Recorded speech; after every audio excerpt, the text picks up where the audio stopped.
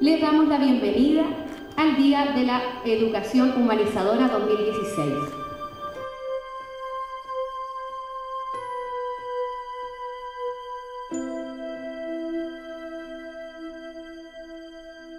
Llegó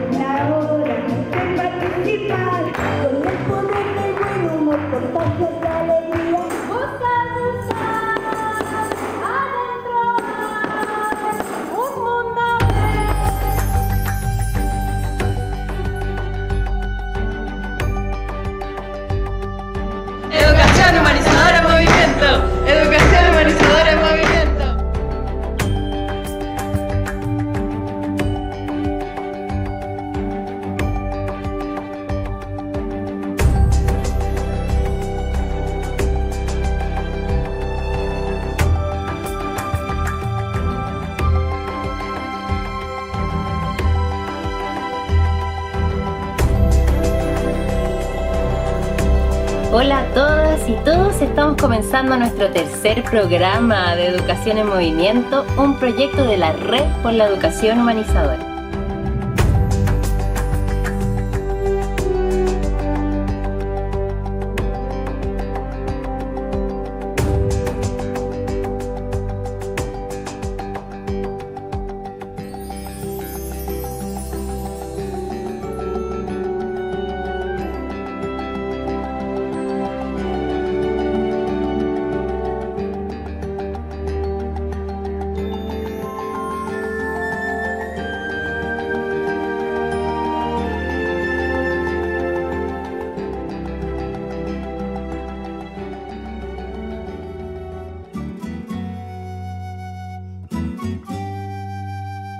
Eh, siento que resultó bastante bien.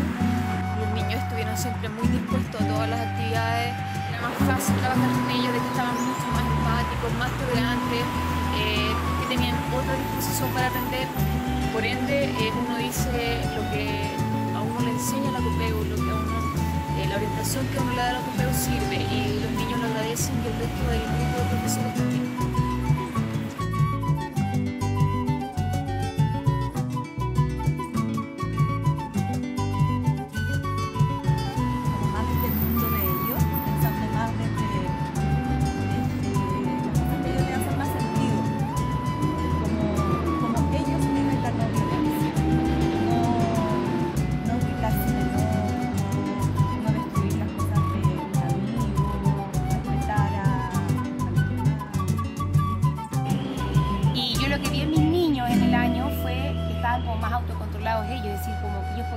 conciencia de lo que les pasaba.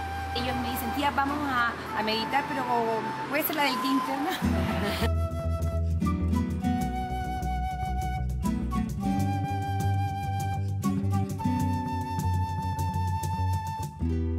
y trabajamos en conjunto con Josie el tema de la no violencia con los niños.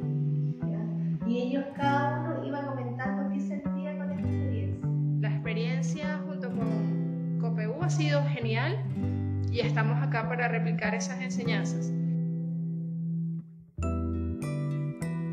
aprendiendo cosas que yo no manejaba y que me han servido mucho, como esto de, hacer las experiencias guiadas con los chicos, ir hablándole y guiándolos en, cosas como para que ellos profundicen, se orienten y le encuentren un sentido a lo que ellos están haciendo. Entonces los niños fueron descubriendo que sí, que, que sí había que buscarle el sentido.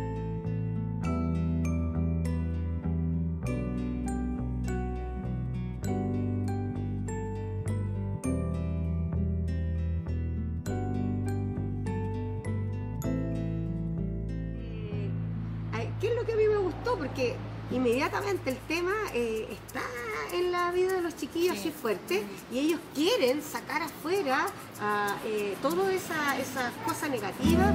Yo los insto a que lo hagan porque en la medida que uno va votando lo negativo, tú te vas liderando.